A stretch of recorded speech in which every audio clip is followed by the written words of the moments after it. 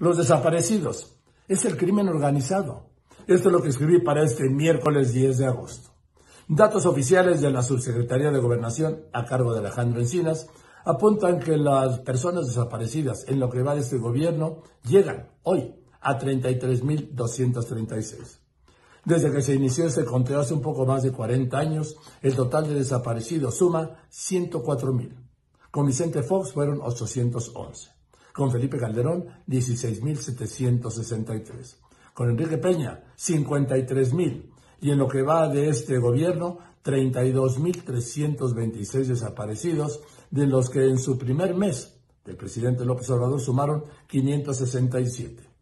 9.348 en 2019, 8.785 en 2020, 9.000, 9.782 en 2021 y en lo que va de este, de este año, 33.236.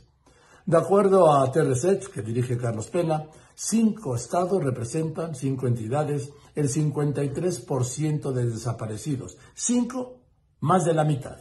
Jalisco, Jalisco con 6.887.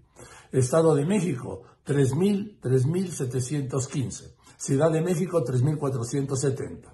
Nuevo León, Nuevo León 2.623 y Michoacán 2.077. Estos datos documentan que las desapariciones están ligadas al crimen organizado. Estamos hablando de cinco estados, de cuatro de cinco estados marcados por el crimen organizado, sobre todo Jalisco con el cártel Jalisco Nueva Generación. La tendencia de este gobierno es la de emparejar el máximo del gobierno anterior, 52.948, y me dirán, como me dicen, ¿sí? Que sí, que se ha roto la tendencia del número de desaparecidos al incremento. Lo que es cierto, ¿sí? Lo mismo que dicen de los homicidios dolosos, 130.320 al día de ayer. Pero los gobiernos no están para romper tendencias, no. Están para dar seguridad, están para dar certeza, están para reducir desaparecidos y homicidios, lo que no se ha logrado en este de la 4T. Y tampoco está está en el decir de un presidente que afirma dar abrazos y no balazos, como si esa, si esa fuera la opción, o como si esa fuera la solución, que hemos visto que no lo es.